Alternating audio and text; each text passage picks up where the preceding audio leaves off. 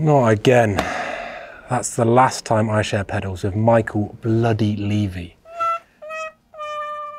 If we go back to the mid 2010s, there were two things that I wasn't only against, but absolutely and steadfastly opposed to.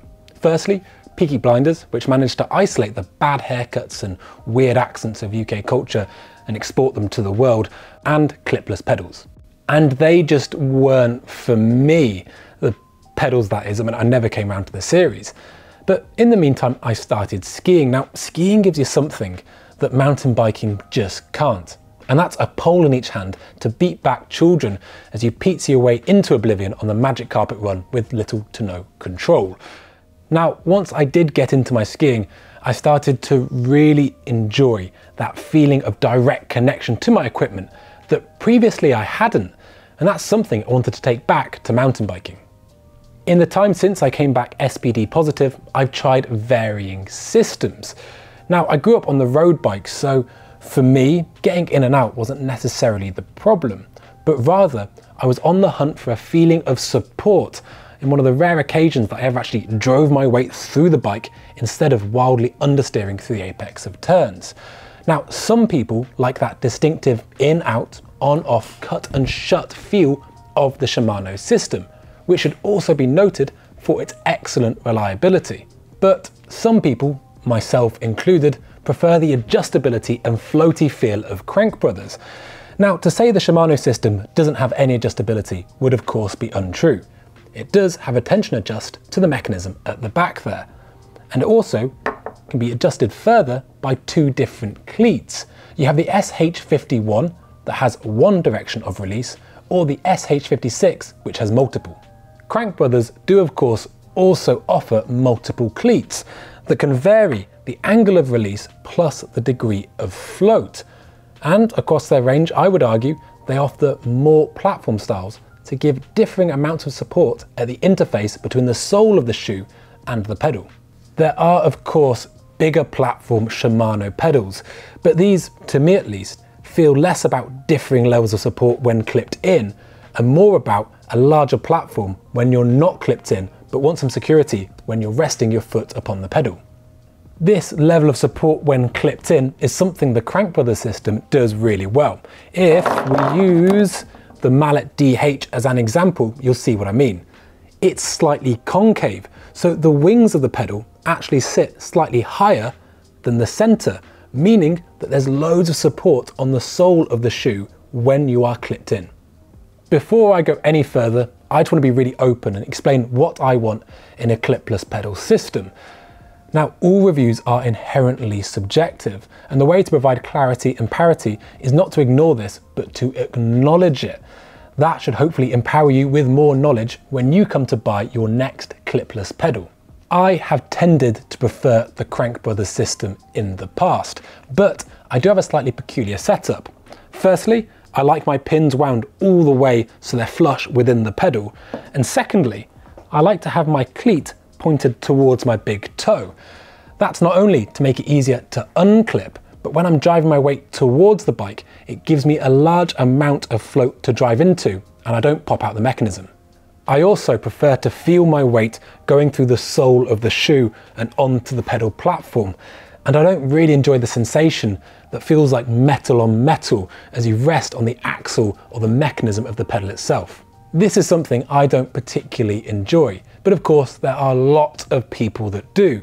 You see, the Shimano system is massively popular, and it's why I'm referencing it so much in a review that's about a different brand entirely. It's to give you a point of reference. One thing the Crank Brothers lineup didn't have though, was a real rival for something like the XT or XTR trail pedal, something lightweight.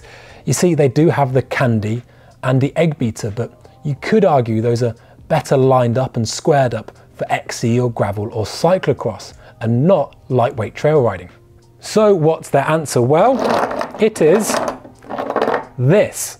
This is a pedal that aims to bring the mallet lineage to a trail platform.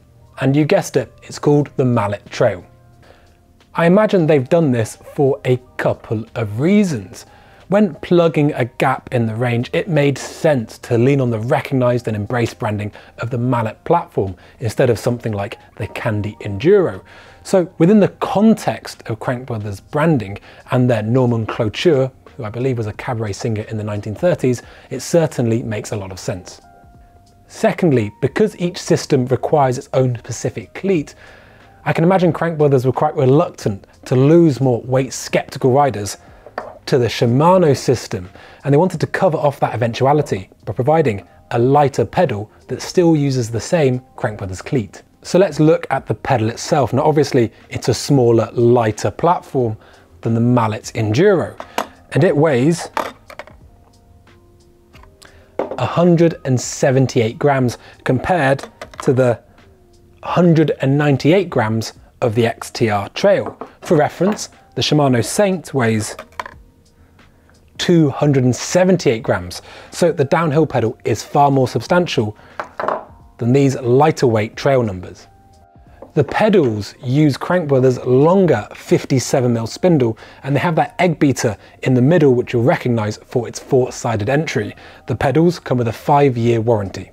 You see, I hate the thought of running special cleats for special shoes, then you've got special shoes for special bikes. It seems like a load of nonsense to me. Personally, I want to stay with one cleat system across all of my bikes. But the biggest problem with the Mallet Trails is they are squarely in the shadow of its bigger and in my opinion better sibling. It's merely 40 grams lighter than the Mallet Enduro and does without a lot of what makes this pedal so good, namely that concave platform what that means is you may well have to run the thicker 2mm traction pads, and that, in turn, preloads the underside of that cleat mechanism, meaning that getting out isn't so easy. All of that, and you might not even get the support that you wanted in the first place. You can of course see these traction pins, which are great for moments of wide-eyed panic as you paddle on the pedal, hoping to get a bit of security whilst going through something unclipped. But once you're actually into the mechanism, these pins can sit on some shoes inside that cleat channel, meaning they don't even bite into the rubber to support your foot more in the first place. It also then doesn't give you that binary in-out feeling of the Shimano, although I would say the 2mm traction pads on the Mallet Trail offer a comparative level of support to something like the XTR Trail. A funny little tidbit though, is once you're riding in the wet with a bit, with a bit of moisture, with a bit of moisture on the Once you get some moisture on these 2mm traction pads, should you have them installed, they actually make it a lot easier to get in and out of. So riding these pedals in the wet does feel distinctly different to in the dry. If you go hunting for more support and do fit those thicker 2mm traction pads, it can also mean there are times where you think you're clipped in, but the mechanism hasn't quite gone over the edge of the cleat. Now this can be remedied with Crank Brothers shoes because you can change the 1.5mm stock shim that sits underneath the cleat to the supplied 1mm version.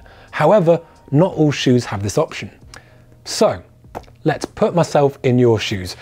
You're about to buy a brand new clipless pedal and you're choosing between the Mallet Trail and the Shimano Trail so the XTR or the XT, what would I choose? To be honest, I'd go for the Shimano's, but if I was going to choose between the Shimano's and the Mallet Enduro, what would I choose?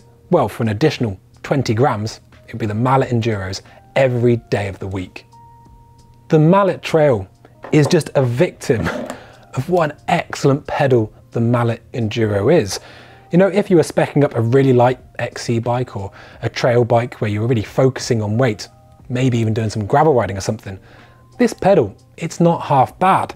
But if you're riding techier trails where you're driving through the bike, where you're conscious of being able to get in and out again easily, as well as having moments of support when you're not clipped in, but you're trying to get back in, these ones are definitely the ones to go for. These aren't bad pedals, but compared to the established standard of the Mallet Enduro, they're always going to suffer. As we go forward, Pinkbike is going to be doing more video reviews, but if you want to see the high definition images as well as the written article, be sure to check out the Pinkbike website.